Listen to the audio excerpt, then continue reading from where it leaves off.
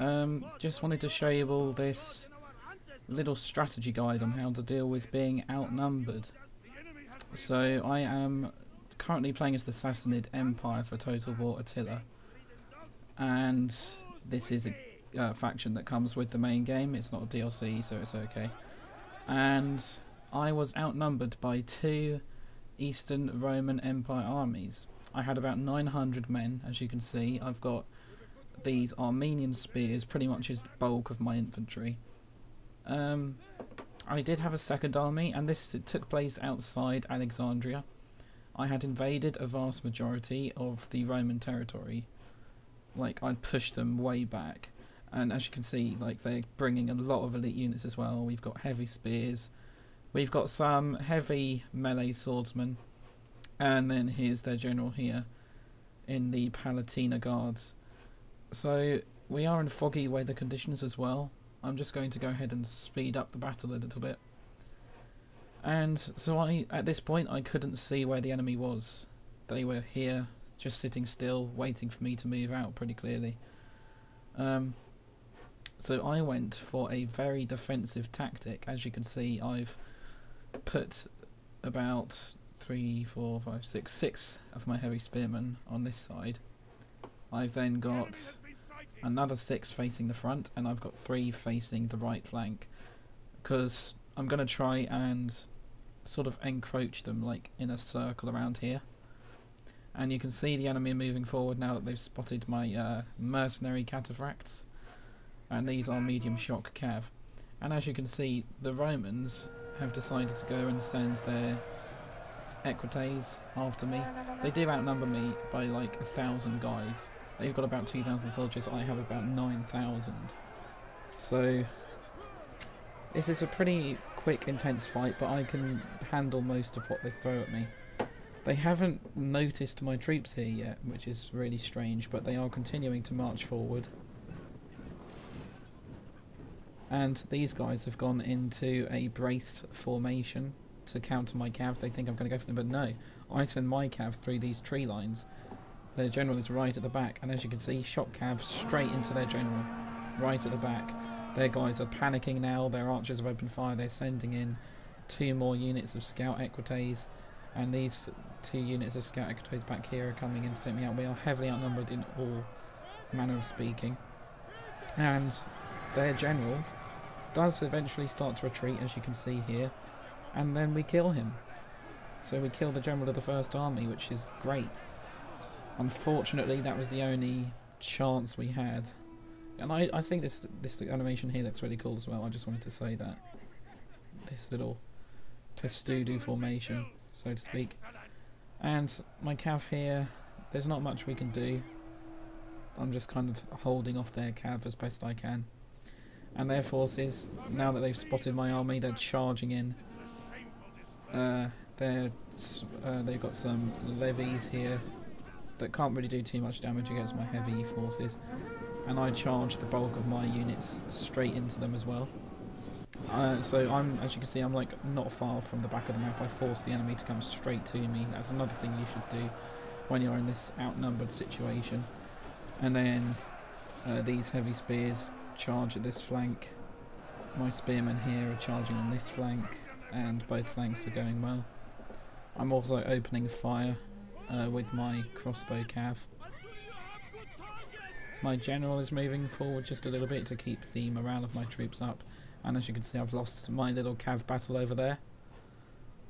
Which isn't too great, but at the same time, you know, I can recover. And we took out their general, so it's okay. For now, at least. As you can see, some of the enemy are starting to rout already. They're wavering because their general has died. So killing the general has a really negative effect. Especially when it comes to the morale of your troops. I accidentally let these guys get into the enemy attack here. I should have pulled my cav pack when I had the chance.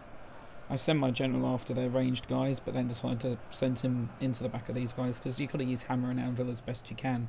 I'm trying to defeat these forces here before this army gets here. So there's their second army of reinforcements.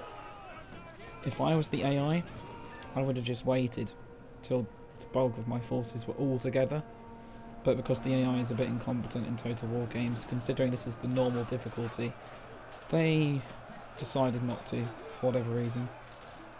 So as you can see, we're winning the uh, little slaughter fest that's going on here. We're forcing a bit of a chain route as well.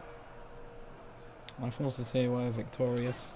We are being hit by these bloody Velites skirmish units. They're very effective. They've got a, they've got more ranged units than me, which is partially why they won the fight. And as you can see, I'm starting to because I won both the, the small skirmishes here and here. I've now begun to flank the bulk of their troops. And if this was all they had to offer in this fight, I would have won completely. As you can see, uh, I've lost about 200 guys, and they've lost about 800 guys so far. So their head count is really bad compared to mine. My general is starting to take some fire, so I pulled him back over there. He's got 16 men left. And as you can see, the skirmish here is pretty much won, but it's almost all too late because the second legion, they're exhausted, but they're still charging. It looks like they've just charged their way all over here. The heavier the unit, the more tired out it's going to get as well. So by now, both our forces are very tired, which can affect morale. It can affect um, how long your soldiers can fight for before they start taking more casualties. And we're just being peppered down by all their ranged units. You know, we've got some mercenary Germanic hurlers. We've got some uh, very light bow infantry.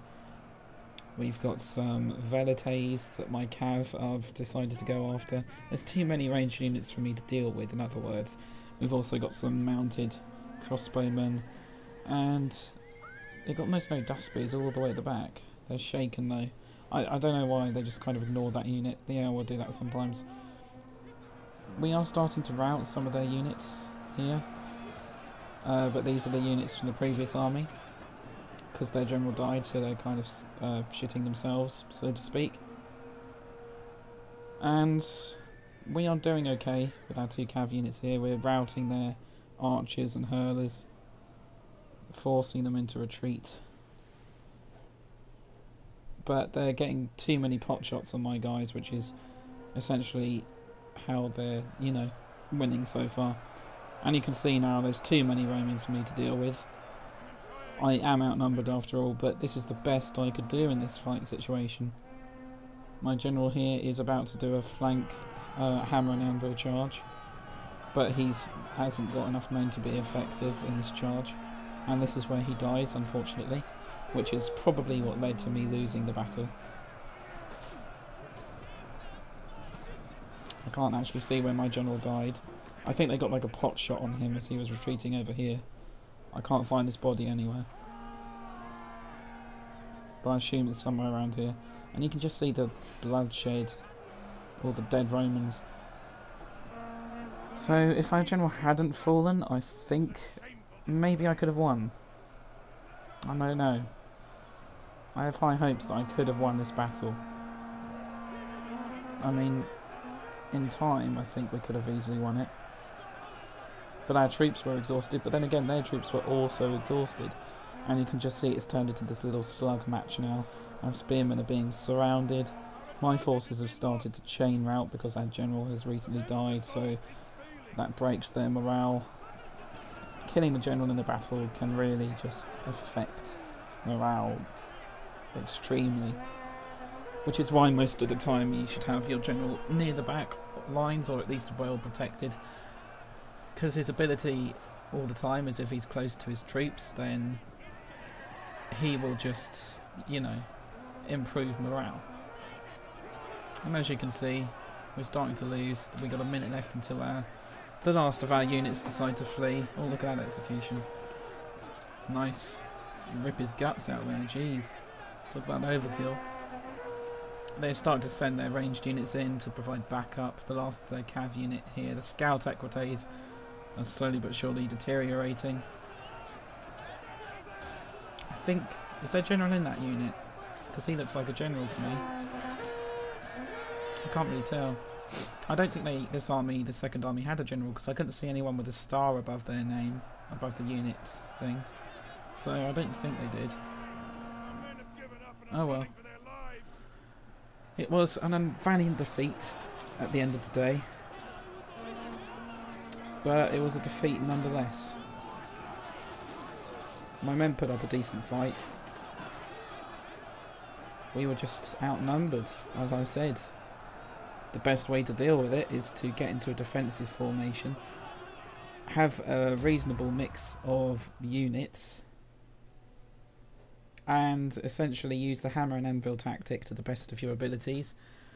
Protect your flanks, take out as many of their ranged units as you can, take out the general as best you can, keep your general alive. There's so many things to focus on all at the same time. So that's why any battle can really go any way. We only just lost this battle, partially because my general died, but at the same time we could have just lost it anyway because we were outnumbered severely. Both our troops were exhausted. Anyway, thanks for watching guys. I just wanted to show you this little awesome clip here. And I hope you appreciate my little strategy guide on how to deal with being severely outnumbered.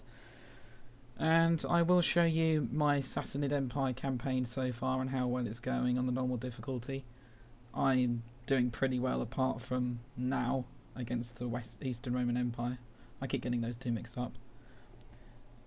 And I will catch up with you guys later in the next video. Alright, thanks for watching. Peace out.